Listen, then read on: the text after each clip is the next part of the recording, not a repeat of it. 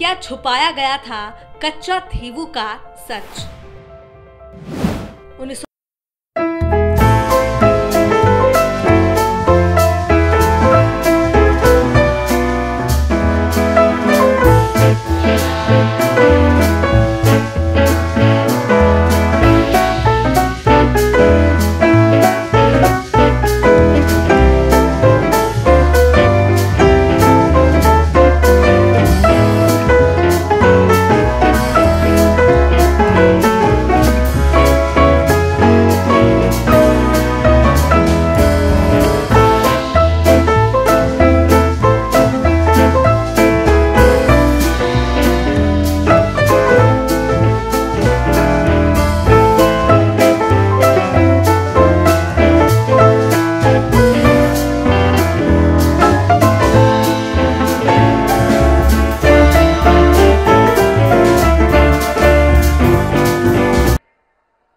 सुरक्षा की दृष्टि से बहुत महत्वपूर्ण है। देश आज़ाद हुआ तब हमारे पास था। और ये हमारे भारत का अभिन्न अंग रहा है। लेकिन कांग्रेस ने चार पाँच दशक पहले कह दिया कि ये द्वीप तो गैर ज़रूरी है। फालतू है। यहाँ तो कुछ होता ही नहीं है। और ये कहते हुए, माँ भारती का एक अंग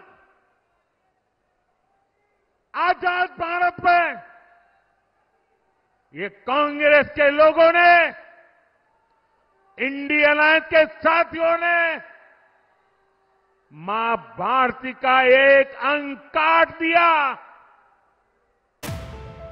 यानी आरटीआई के खुलासे के बाद ये मुद्दा ज़ोर पकड़ने वाला है और चुनावी मौसम में विपक्ष को घेरने के लिए बीजेपी को एक और मुद्दा मिल गया है। पीएम ने कच्चा थेवू पर एक आरटीआई रिपोर्ट का हवाला देकर सोशल मीडिया प्लेटफॉर्म एक्स पर पोस्ट कर लिखा।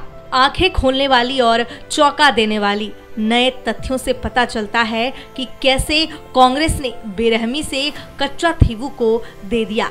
इससे हर भारतीय नाराज़ है और लोगों के मन में फिर से इस बात की पुष्टि हुई है कि हम कभी भी कांग्रेस पर भरोसा नहीं कर सकते।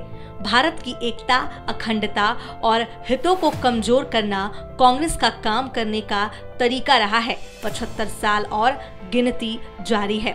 वहीं गृह मंत्री अमित शाह ने भी कांग्रेस को आड़े हाथों लिया। शाह ने सोशल मीडिया पर एक पोस्ट शेयर किया है, जिसके कैप्शन में लिखा, कांग्रेस के लिए तालियाँ। पोस्ट में अमित शाह ने लिखा उन्होंने स्वेच्छा से कच्चा थेवू को छोड़ दिया और उन्हें इसका कोई पछतावा भी नहीं था। शाह ने आगे लिखा कि कभी कांग्रेस का कोई सांसद देश को बांटने की बात करता है तो कभी भारतीय संस्कृति और परंपराओं को बदनाम करता है। इससे पता चलता है कि वो भारत की एकता और अखंडता के खिलाफ है। वो सिर्फ़ हमारे देश को बांटना या तोड़ना चाहते हैं। कच्चा थीवू मुद्दे पर विदेश मंत्री ने भी कहा है कि सत्य ये है कि आज हम वास्तव में न केवल ये जानते हैं कि यह किसने किया और किसने इसे छुपाया बल्कि ये भी जानते हैं कि 1974 के कच्चा थीवू समझौते के लिए जिम्मेदार पार्टियाँ कौन थी और 1976 में मछुआरों का अधिकार कैसे समाप्त किया गया। In 1974, India and Sri Lanka in June 1974 concluded an agreement where they drew their maritime boundary. And in drawing the maritime boundary, Kachativu was put on the Sri Lankan side uh, of the boundary. This agreement of 1974 had three other clauses. One clause which said that each country shall have sovereignty and exclusive jurisdiction and control over the waters. The second clause, Article 5, it gave to Indian fishermen that they will continue to access Kachativu as hitherto and will not be required to obtain travel documents. अब यहाँ ये समझना भी ज़रूरी है कि आखिर ये पूरा मामला क्या है दरअसल तमिलनाडु बीजेपी चीफ के अन्ना मलाई ने कच्चा थीबू के बारे में जानकारी को लेकर आरटीआई दायर की थी रिपोर्ट में सामने आया है कि साल 1974 में भारत की तत्कालीन प्रधानमंत्री इंदिरा गांधी और श्रीलंका की राष्ट्रपति श्रीमावो भंडार नायके ने एक समझौता किया था। इसके तहत कच्चा थीवू द्वीप को श्रीलंका को औपचारिक रूप से सौंप दिया गया था। रिपोर्ट के मुताबिक इंदिरा ने तमिलनाडु में लोकसभा कैंपेन को देखते हुए ये समझौता किया था। 1974 में इंदिरा गांधी की सरकार ने इस द्वीप को श्रीलंका को गिफ्ट कर दिया था। 1974 में दोनों देशों के बीच दो बैठकें हुई थी। पहली बैठक 26 जून को कोलंबो में और दूसरी 28 जून को दिल्ली में हुई। दोनों बैठकों में द्वीप श्रीलंका को देने पर सहमति बनी। रिपोर्ट में कहा गया है कि समझौते में कुछ शर्तें रखी गईं, जैसे भारतीय मछुआरे अपना जाल सुखाने के लिए इस द्वीप पर जा सकेंगे। द्वीप पर बने चर्च में भारतीय लोगों की बिना वीज़ा एंट्री होगी। ज़मीन का टुकड़ा नहीं।